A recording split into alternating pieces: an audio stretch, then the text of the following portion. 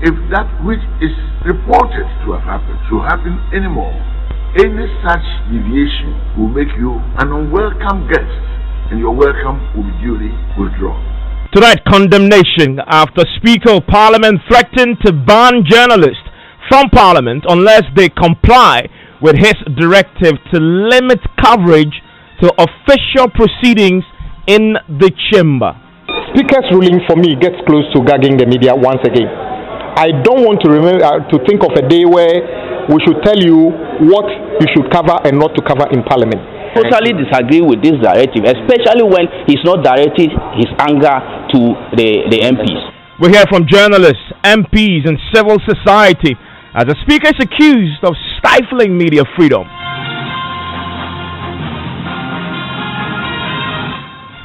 This is Top Story with Evans Mensah.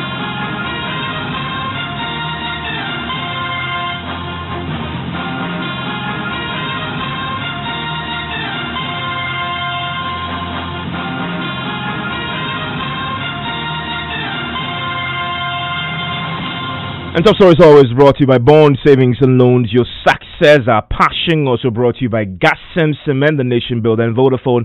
The future is exciting ready. Tonight, the Speaker of Parliament is facing strong criticism for taking the unprecedented step of threatening to ban journalists unless they comply with his directive to limit their coverage to official proceedings in the chamber. Professor Michael Oquaye took serious issue today with occasions when journalists cover other events, including press conferences by individuals and groups of MPs outside the Chamber of Parliament. We are talking this story from multiple angles, but first, listen to the full directive by the Speaker, which is tonight the subject of some serious controversy. I take a very serious view of the matter raised. Apart from the recognition and permission granted by the Speaker, members of the Parliamentary Press Corps will be strangers in this honorable house. In other words, they have our permission to be here by dint of their profession and the work expected of them, and we regard them very, very highly. I want to make it clear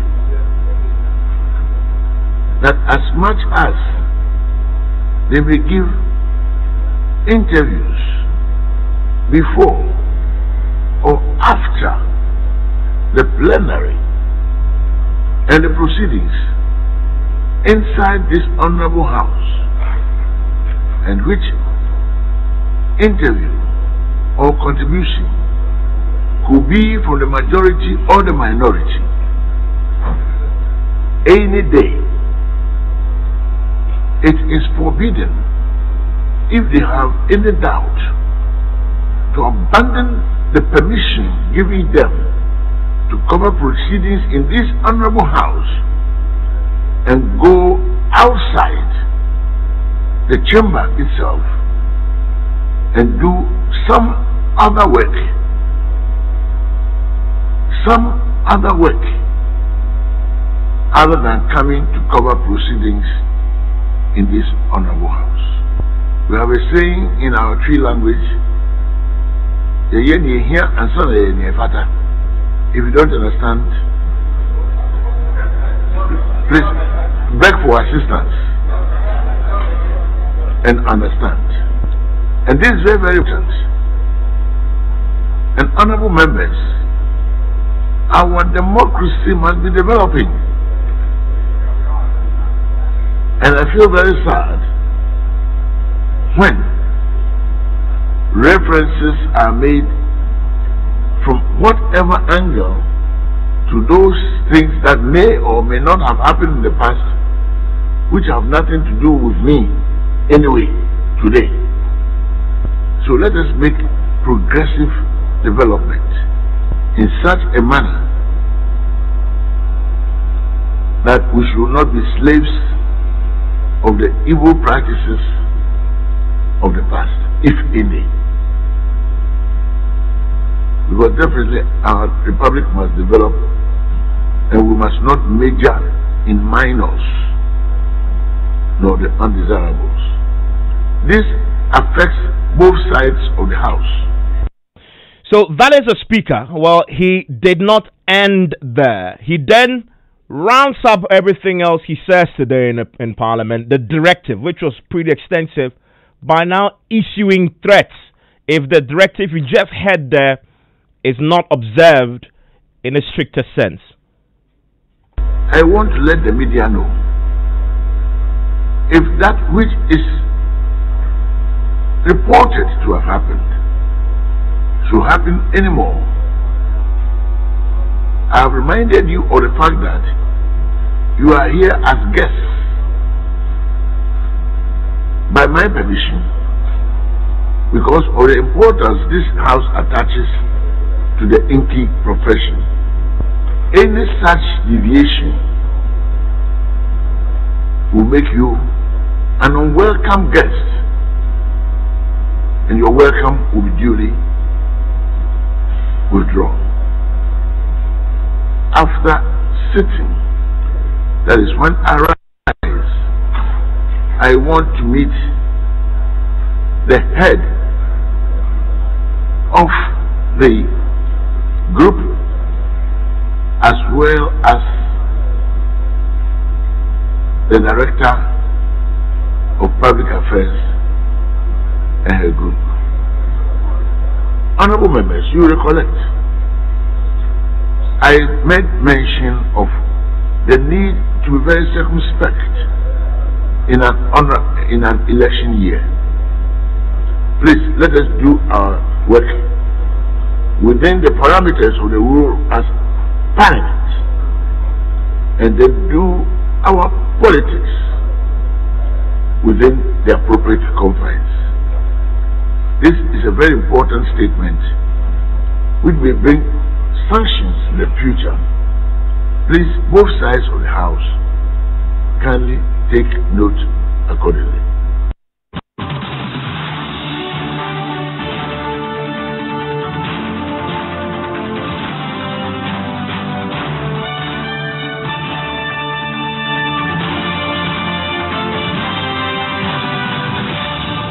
Uh, my colleague, uh, parliamentary correspondent Joseph Opoku who sat through that uh, strong directive himself, and we'll, we'll, we'll, tell you what our position is here at Multimedia shortly, and whether it affects uh, and whether we'll be complying with this directive. And Joseph may be the person who will have to be executing that shortly. But Joseph, how did we get to this point with this directive? So just when the business of the House was beginning, the Majority Leader Kyei-Mensah-Bonsu said he had an issue he had to raise, and then he drew attention to the press conference yesterday by uh, the MP for Ellembelle, Emmanuel Buah, and you recall that the minority MPs were not debating the state of the nation address; they were silent as only the majority side debated the issues. And according to the Majority Leader, he looked at the press gallery side and saw that it was empty. And when he inquired, he was told that some minority MPs were addressing the media outside Parliament. And so he said that it was out of place and that the first responsibility of journalists who come to the House is the chamber. And who told him that? Uh, he didn't quote any documentation to back that, but he says. So as, that's what he as, believes, as, that our first responsibility is the chamber. As long as you've been accredited to report from the House, then the first responsibility is the chamber, well, and you shouldn't be doing other things outside the chamber when sitting. Is. Thankfully, we can hear him explain how he came to that conclusion. Listen to James Amonso. Um, we commenced the debate on the president's message on the state of the nation and um, line, I observed that the house had been made naked by the media houses that were supposed to cover proceedings in the chamber.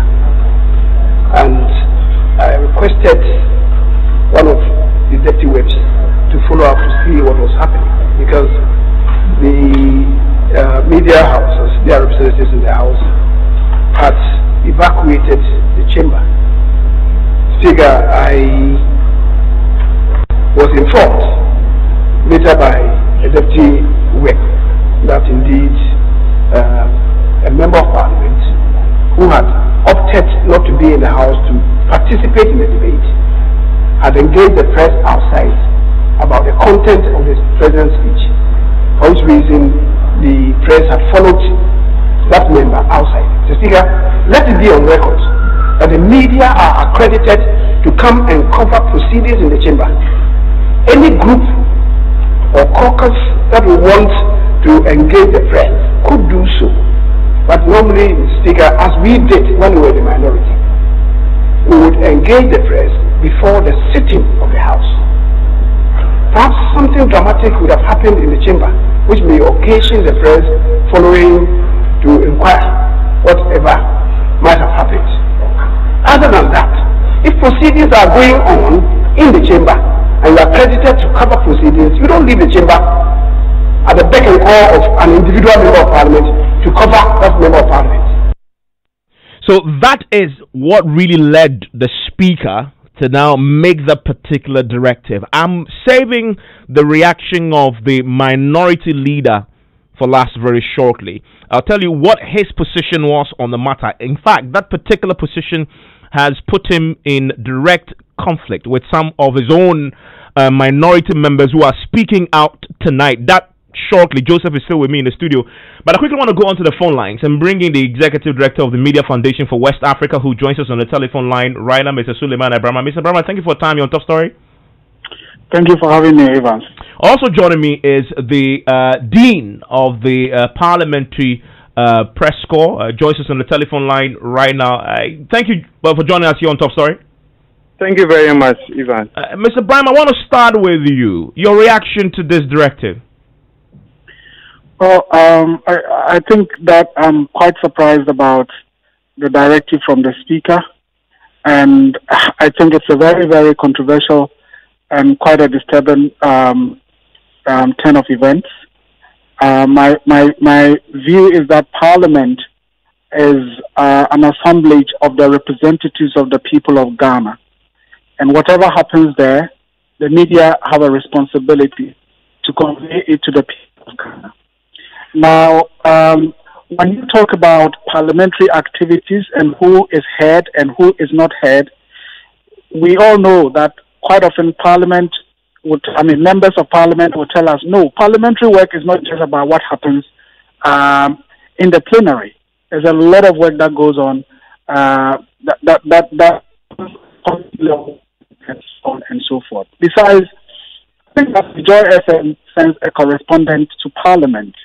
It is the decision of the editor to decide what would be newsworthy and what is newsworthy, what is not newsworthy from Parliament.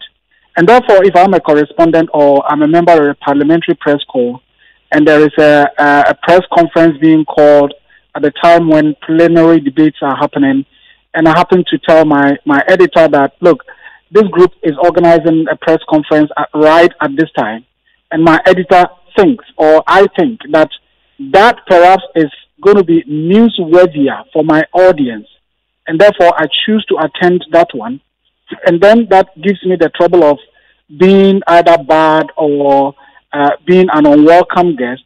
I think that that directives may border directive may border on um, censorship and to some extent deciding what the media should be covering and not be covering. And I think it's a very very worrying development. Apart from that, Evans, I th- I think that if the event that the media had left to cover was an event by some demonstrators or some party foot soldiers and so on and so forth.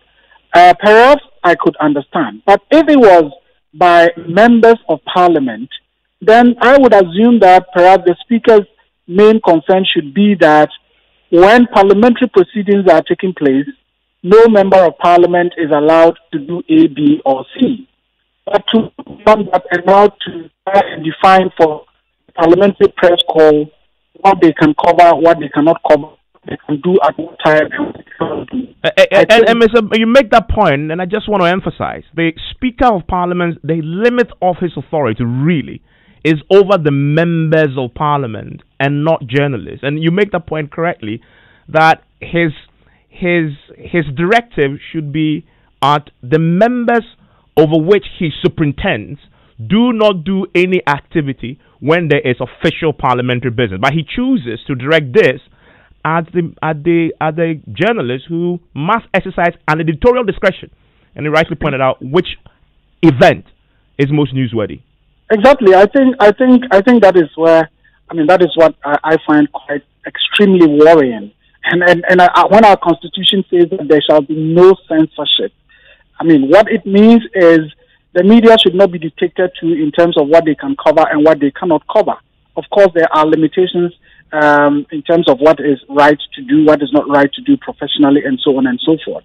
But for the Speaker of Parliament, uh, Parliament that is made up of representatives of the people, I think if a representative of the people decides that there is this debate going on, but I have a particular issue that I want to address, and the media, he talks to the media, and the media finds that item more newsworthy, and they decide that, okay, at this time, this is what we want to focus on because the person is a member of parliament, a representative of the representative of the people, and he is talking about this issue that we find newsworthy.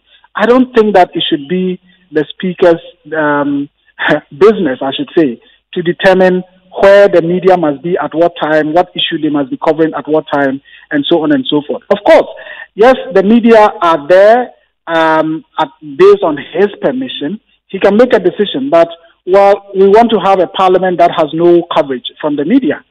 And that will be another issue. Yeah, exactly. Even that can be a subject of some contest in court. Exactly. Yes, but but yes, he can go ahead and make that decision. But uh, to say that um, from now on you are allowed to do this, you are not allowed to do that, and so on. I, I think that is really borders on what the Constitution frowns on, which is that there shouldn't be any acts of censorship within our democratic space. I'm grateful that you joined us, uh, Sulemana Braimah. And Nana Agyeman uh, Benkrine is the uh, parliamentary uh, uh, dean of the press corps, joins us on the line. Nana Agyeman, uh, uh, this, we had a speaker that say that um, there was going to be some form of a meeting. Did that meeting happen and what was concluded?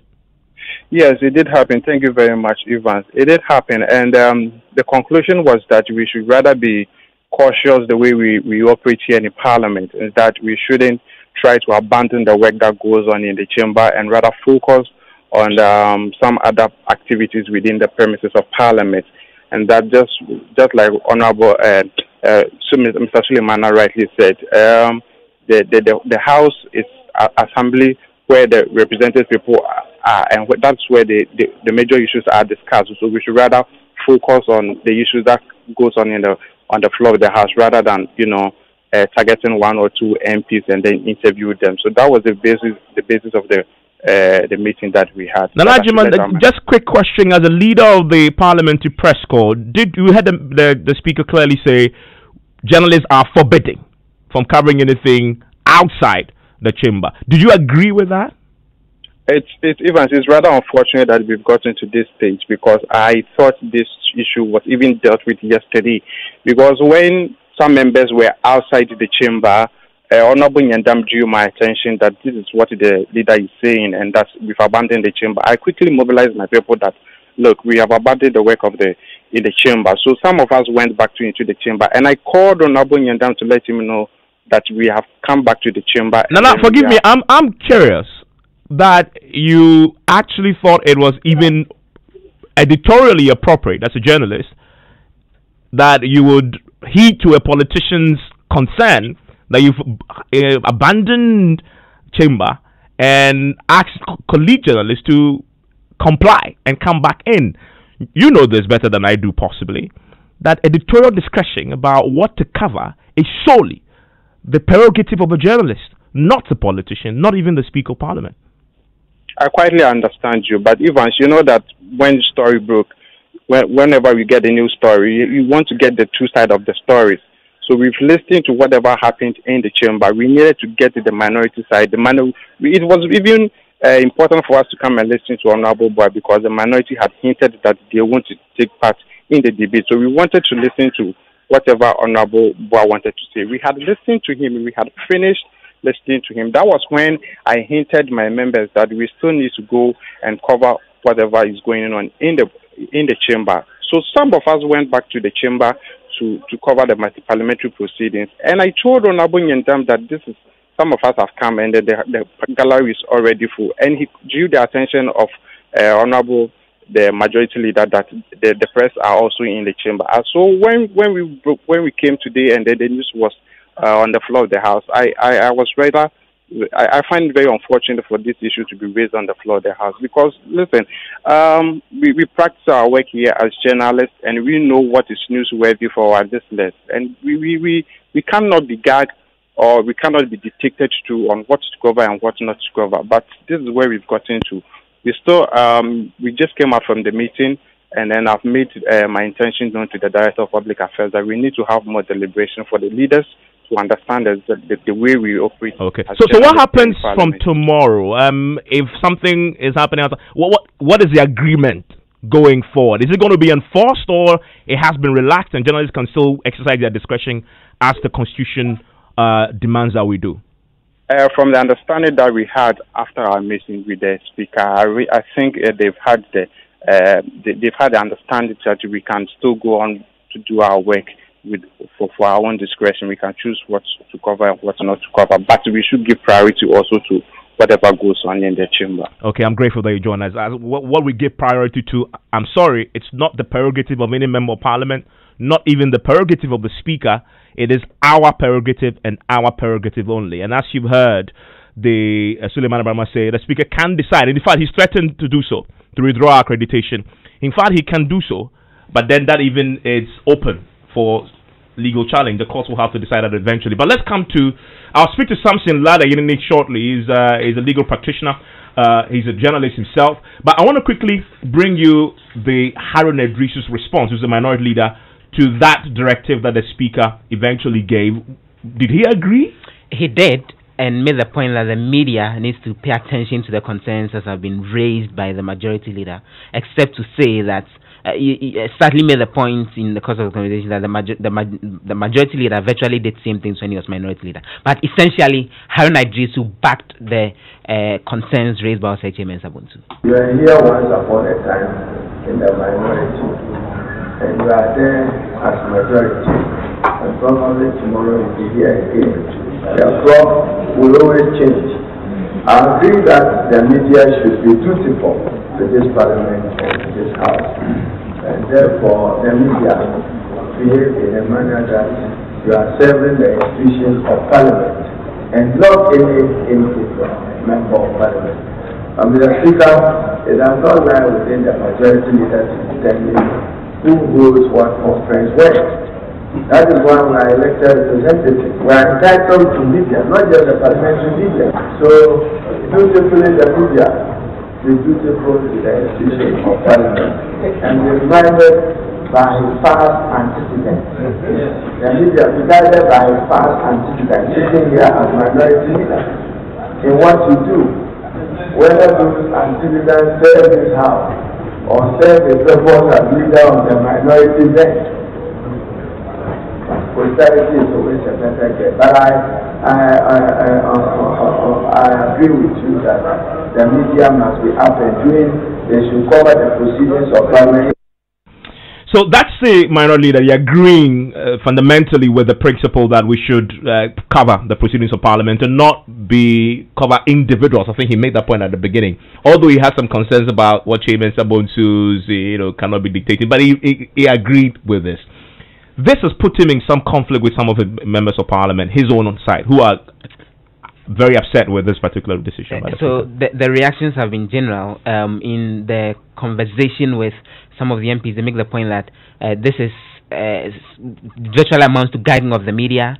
So Kwame Agbodza, for example, makes that point, and he thinks that that shouldn't be the way forward. But the members of the parliamentary press corps themselves have actually been reacting beyond the leader that we had a while ago, and a lot of them are not happy with this directive. I totally disagree with this directive, especially when he's not directing his anger to the, the MPs, members of parliament. Uh, let's speak to another member of the parliamentary press corps. To such warning, I mean, such warning, I, I mean, to the to the PPC, I, I, you know, is, is, I was, I was, I was, I was shocked. I was shocked too. I totally disagree with this directive. As I said, when we come to Parliament, covering proceedings of Parliament is not limited to what happens in the chamber. And that is a fact. And therefore, if he's giving this such a directive, I totally disagree with this kind of directive. Uh, let me go to Samson Lardy, a private legal practitioner. There's a statement coming from the Public Affairs Directorate of uh, Parliament. We'll bring you that shortly. There's a setting attempt to, you know, uh, dress up the issues. We'll try and get to the bottom of that. Uh, but something, question: Should journalists obey this directive? Absolutely not. Read my lips. Absolutely not. This is actually a clear, not overt, infringement of the Constitution in many parts. Articles 21, Articles 162, uh, various clauses of Article 162, particularly Clause 4, Clause 5. The Speaker had absolutely no business conducting himself in the manner that he has done, and the majority leader and the minority leaders seeking to also make comments that that makes me feel very depressed this very time. That they cannot do the things they're seeking to do, and in fact, if um, an action was was was instituted in respect of um, threatened violation of the constitutional rights guaranteed to the media, um, the court, I have no doubt whatsoever, will not blink in telling the MPs and the Speaker to their faces that they have absolutely no right to try to interfere in editorial discretions of the media and to try to do things that the Constitution clearly prohibits them from doing. And to think that the speaker actually wrote this statement and read it. That is more frightening and depressing. Um, he knows the Constitution a lot more, and and and and it is disgusting to think that you know we could get to this point. There have been uh, infractions of media freedoms uh, in in recent times, but I, nobody would ever think that it would get to this point. It does appear that even the Parliament will not be of any help, but the court, who have so far that I have gone to court over some of these matters, are the ones that will, will assist the media. So nobody has any business seeking to comply with an illegal and unconstitutional order. But he threatens us that if we don't, he will withdraw our accreditations. He will, in fact, we, stop us from, from coming. So we are guests, and they, that it's a privilege. We, that that can be withdrawn. Okay, so the parliament is a part of government. Is that not so? It is. Right. Article 126, uh, Article 162, Clause 5 says that the media has a job. And what is the job?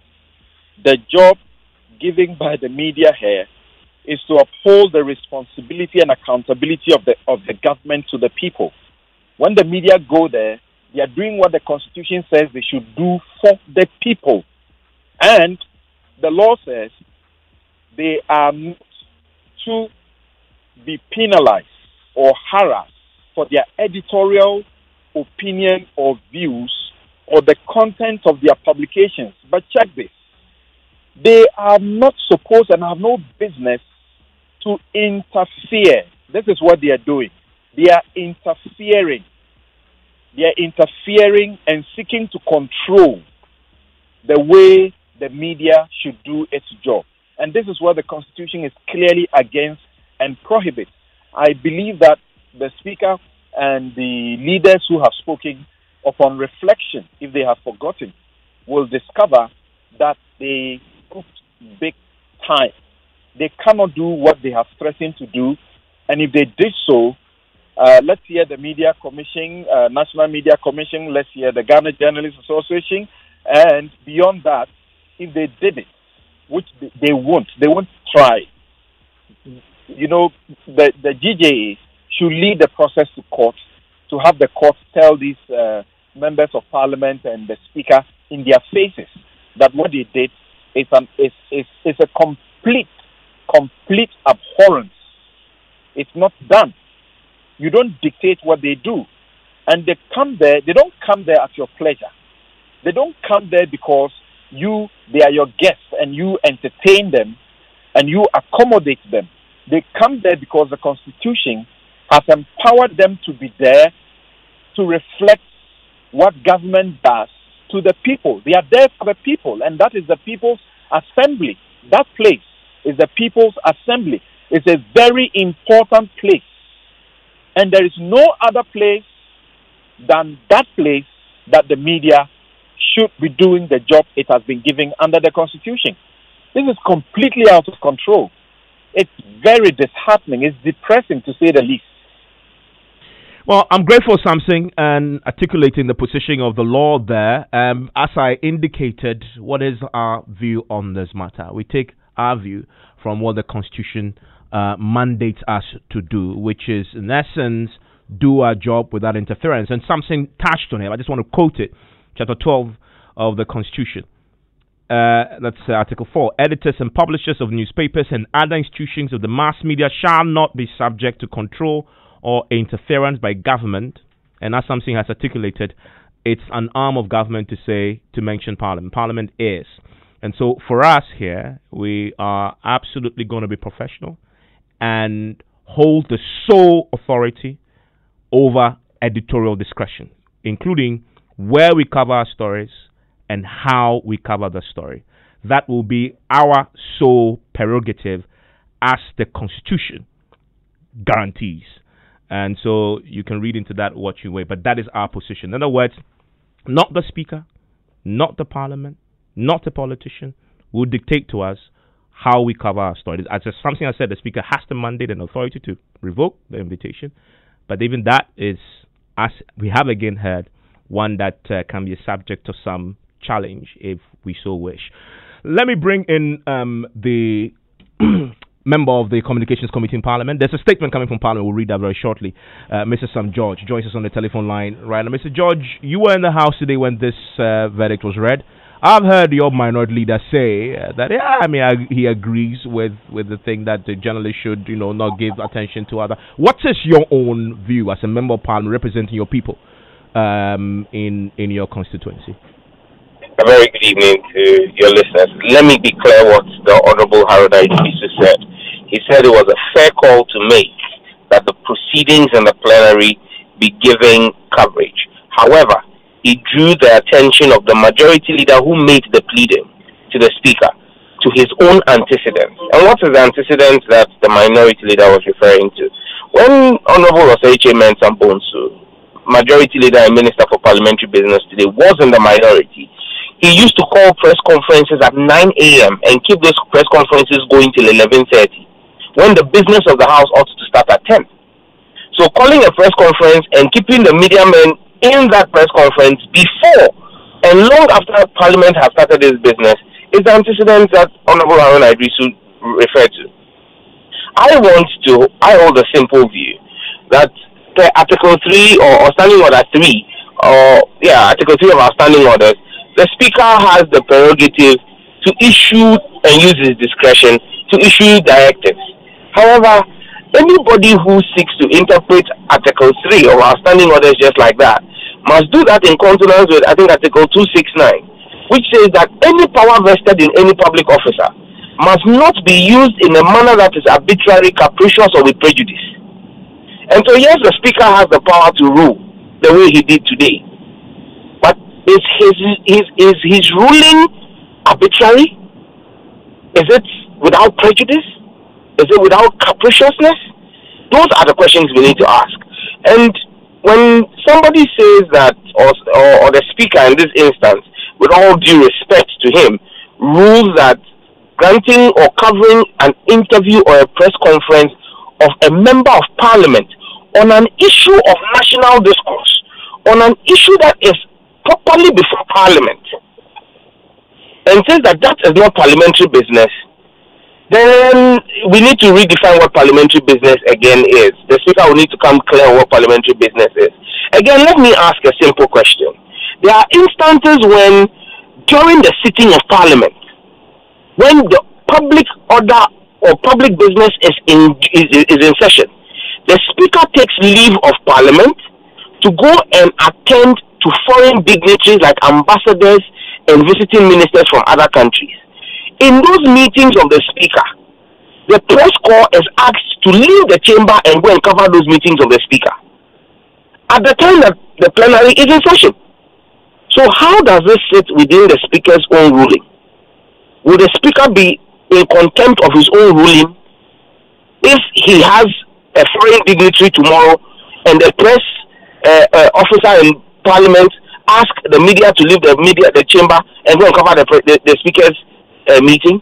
I thought that when the application was made to the speaker the speaker should have given general comments and taking his time to reflect on them and consult with the media to find through his, the, the parliamentary public affairs department to find a workable solution. But to give a ruling there and then with far-reaching consequences including revoking the accreditation of a media man or a media house to parliament I, I think smacks of a little kind of censorship on the media and it's something that I think that I, I, believe that even Parliament itself is beginning to rail with from the backlash. I'm aware that the, the Public Affairs Department is immediately calling for a meeting tomorrow with media men at nine o'clock to find a middle ground. A middle ground should have been found before a public pronouncement of that nature, which amounted to a fiat. Uh, Mr. George, uh, if, if you look at the concern that was expressed, though, isn't there a certain, I get, amount of uh, distraction that goes on when there's official business in the House, and then one member of Parliament uh, exits and then calls the media to give an interview. And the media, obviously, we are making decisions about, you know, what is newsworthy. If we deem that individual to carry enough weight and therefore newsworthy, we will definitely leave and go and cover. But doesn't that then affect, um, at least his absence in the chamber is an issue one, and of course, then your constituents don't get the coverage as as far as the in-house real official business is concerned, isn't that a, a, at least a justified reason um, or concern? Evans, let's call a spade a spade. This whole ruling and this whole application simply goes to the heart of what happened with this year's State of the Nation address. The majority, including the Speaker, is pained by the actions of the minority. The fact that we walked out on the president. And the fact is being compounded by the fact that we decided we will not debate the SONA and we have decided that we will not debate the SONA because it makes no sense to debate the, the, the, the empty SONA that we didn't listen to in the chamber. However, we will speak about the true state of the nation to the media. The media must have editorial discretion to decide what is newsworthy and what per your editorial policy you want to cover. Do you want to cover Sam George, who is going to be speaking about the closure of radio stations by this government that the president failed to speak about in the communication sector? Or do you want to go and listen to a communications minister who is just going to come and sing praises of the president, even when it is not reflective of the reality? You have an editorial discretion to make. If you decide that you want to listen to Sam George, who is not coming to tell you about the kind of food my wife cooked for me, but is talking about a public policy issue that I am well seized with the facts to discuss because I am a member of the communications committee on parliament and I'm speaking to a public issue that is within the purview of that committee of parliament, how then does that amount to a dis- dis- distraction? Is that not parliamentary business? That is what the fact that it is Sam George speaking, or in the case specific case yesterday, Honorable Emmanuel Kofi Armah Buah was speaking on issues relating to energy. Today, I've heard many radio stations com- carry stories about the ongoing dumsor which government is denying. That is a major national issue that people want to listen to. And so, if at the time in the chamber you had people, members of the majority, praise singing and calling the president a savior from heaven, the next Jesus Christ, and the media saw that as needless waste of, of, of media airspace, and saw the, the, the, the, the former minister of energy speaking on issues that are current and trending, that has to do with dumsor that is ongoing, that the government is failing to admit, and stating the facts to it, if a media house chose to go and listen to that, how then do you how then do you keep anybody in the line? This amounts to censorship. This amounts to an attempt to use the executive power to de- to legislate what should be your editorial content. And I think that you as a media must not accept it. I, and before I came on, I heard you saying that you would you would resist this and you would choose who to listen to and who to cover up water. And I think that is what should should be the case. But my, my final question to you, mm, my, my final question to you, um, Mr. George.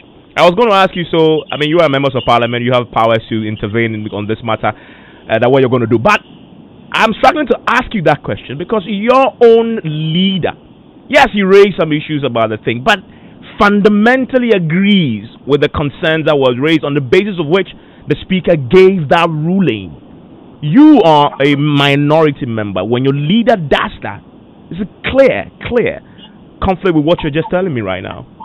My leader did not, and I'm, I'm, I'm stating this emphatically because I was in the chamber. My leader did not endorse the position that Honorable Osei Mensah Bonsu raised. Honorable Osei Mensah Bonsu prayed the speaker to compel every member of, eh, of the press corps to listen to and stay within the chamber when the debate was going on. That is what Honorable Osei Mensah prayed the speaker. Honorable Haruna said yes, it was important to strike a balance and said he agreed that the need to cover plenary discussion was, was good. But every member of parliament also had the right. Honorable Haruna made that case.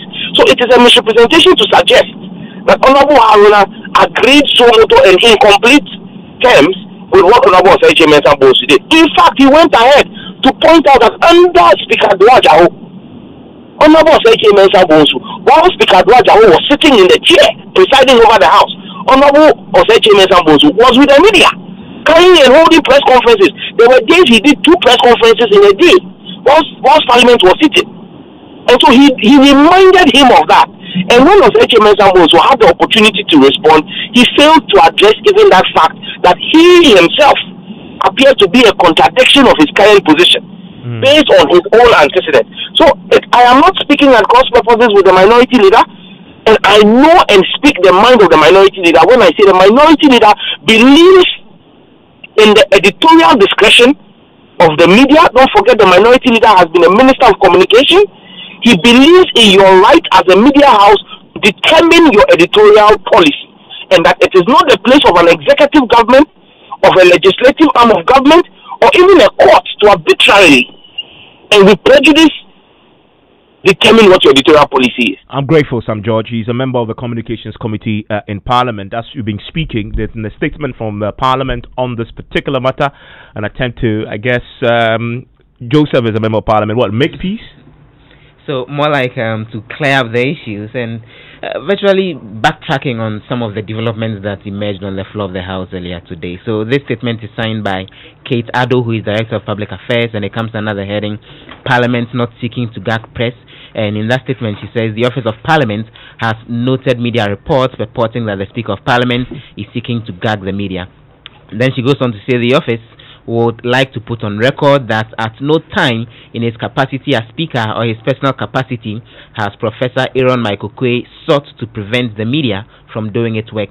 The allegation, she says, follows events from the chamber on Tuesday during which concerns were raised about the media leaving the chamber during deliberations by members in the House. In the next paragraph, she makes the point that, in fact, Proceedings from the chamber centered on the need for members of the press corps to remain in the chamber while proceedings were ongoing to ensure they had a full account of the events as they unfolded. And the speaker in his directive referred to the primary reason for which members of the media are accredited to report from the House and also urged them to focus on saying. Okay.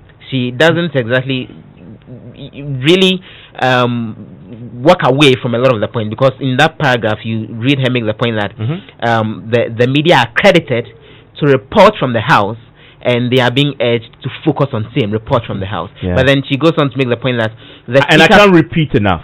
Nobody can dictate to any media anywhere in the world what we focus on. That is ours and ours only, mm-hmm. and that won't change. Not even with this directive.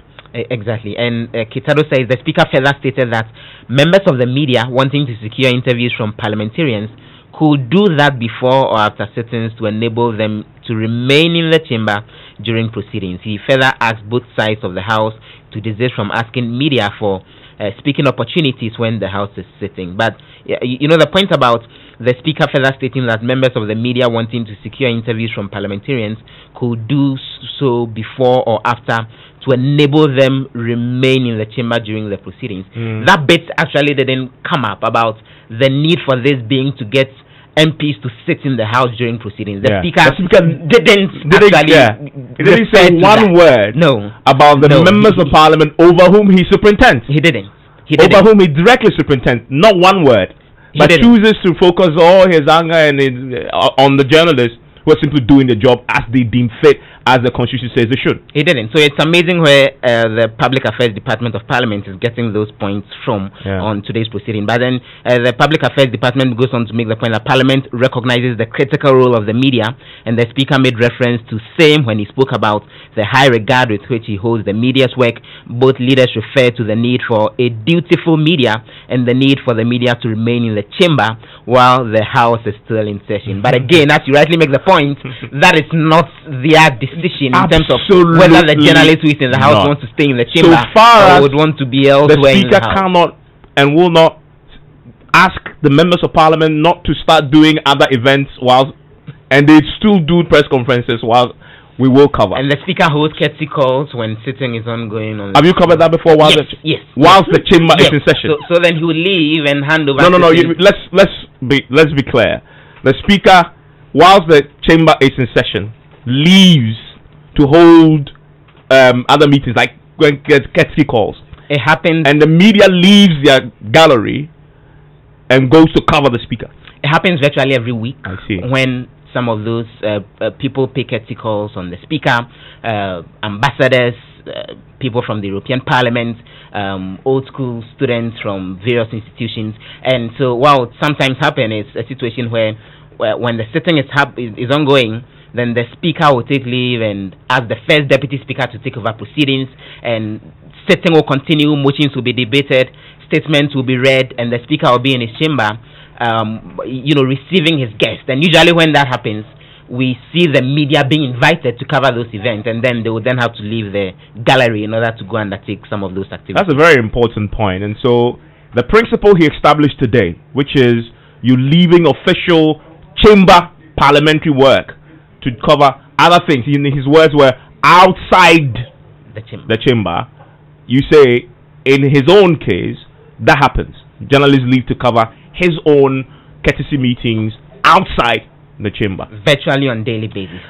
Okay, um, just, just a thank you very much. Um, is there more to that statement? Uh, in the final paragraph, Kate Addo makes the point that the uh, Parliament, Parliament as an institution, the Speaker, leaders, and the entire membership of the House remain committed to the ideals of a free media and freedom of speech as provided for in Chapter 12 of the 1992 Constitution and will not do anything to jeopardize this. Well, we appreciate that they, they know that. Um, I, I, want to quickly bring back again, uh, very quickly, um, what the minority leader indeed said make up your mind when after listening to that. I mean, there's a bit of a controversy when we had Sam George uh, saying that the speaker, his minority leader, did not, um, you know, entirely agree.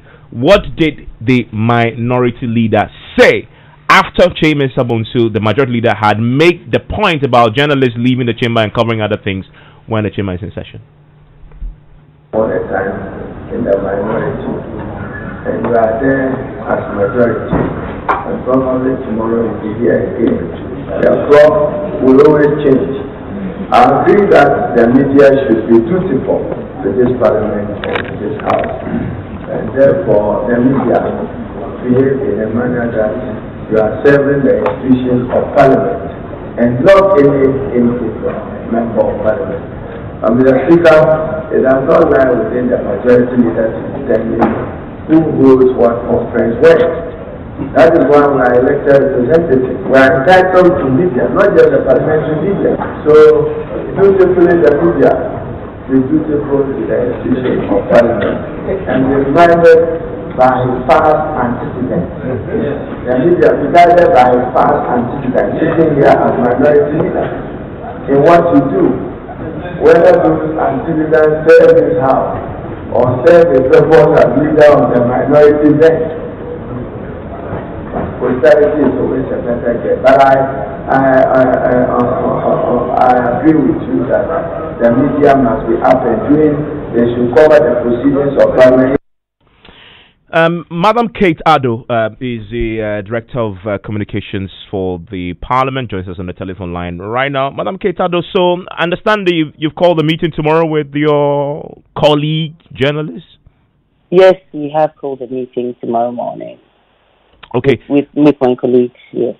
Uh, you made the point in your statement that the, the, the speaker did not gag. But when he uses words in his directive, like, you are forbidding from doing any other work outside the chamber, and then adds to it a threat that if you do, I will ban you, I will withdraw your welcome.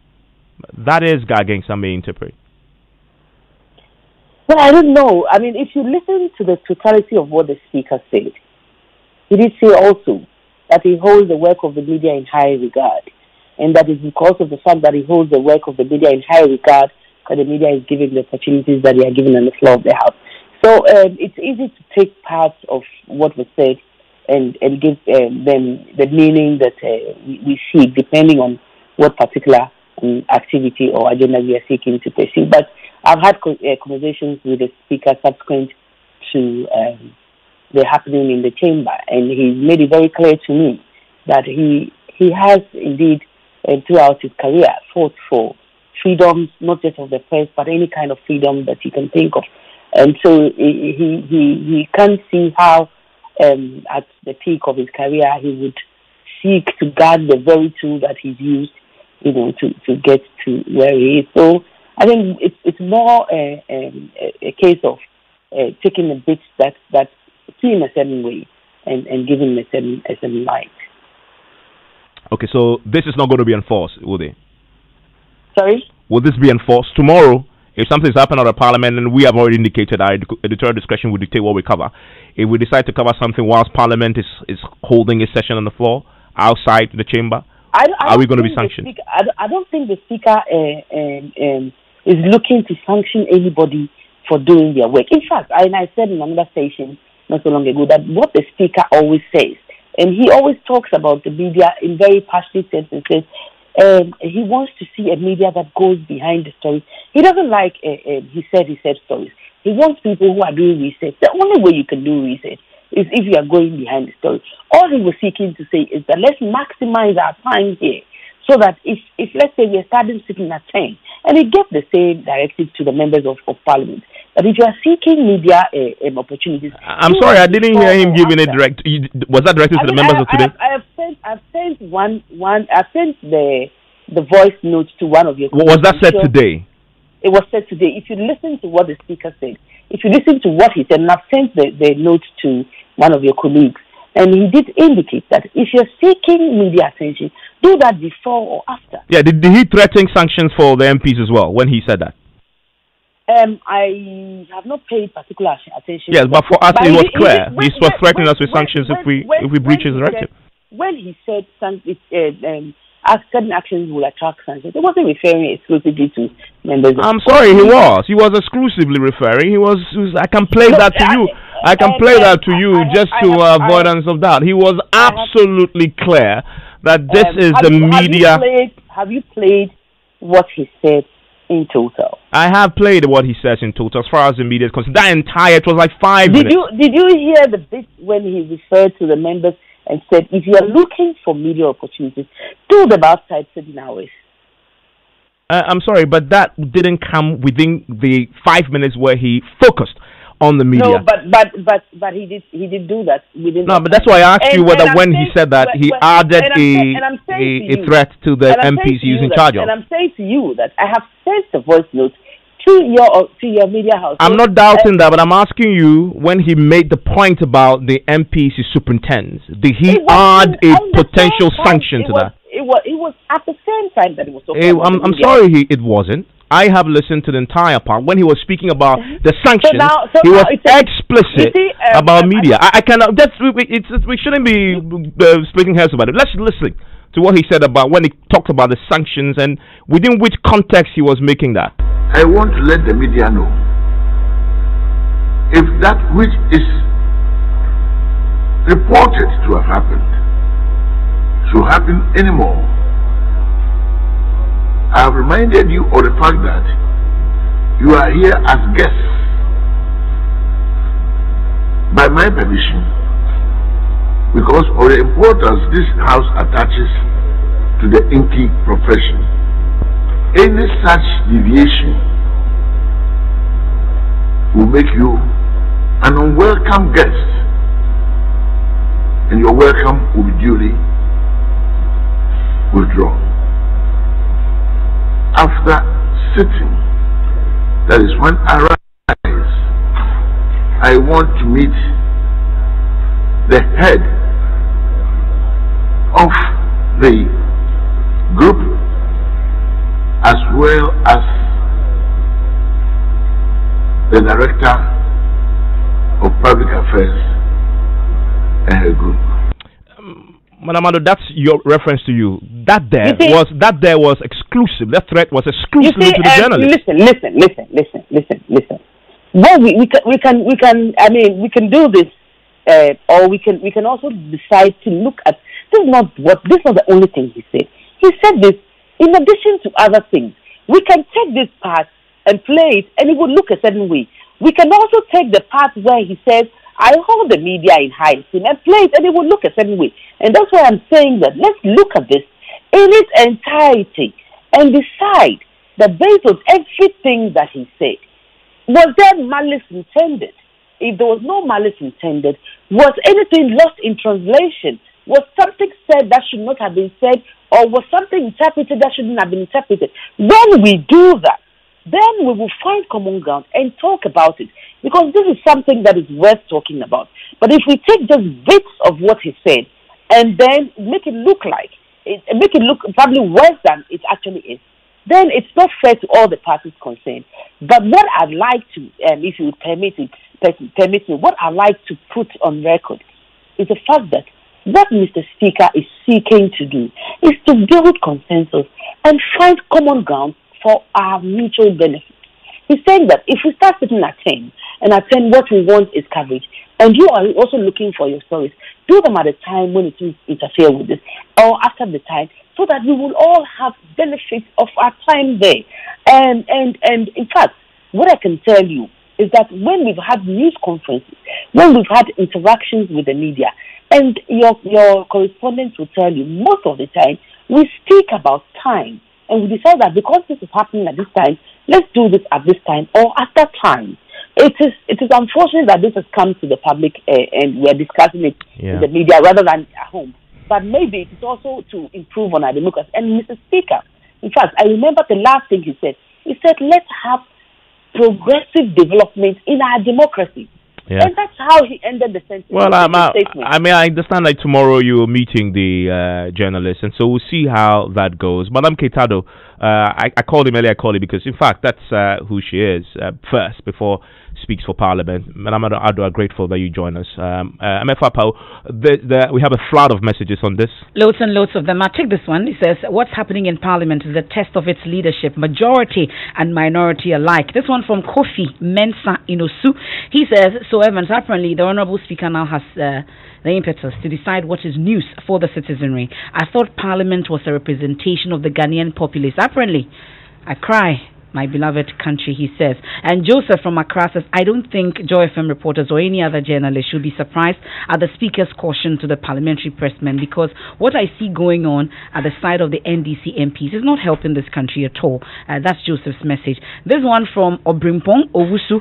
He writes from the Department of Sociology, University of Ghana. He says, I do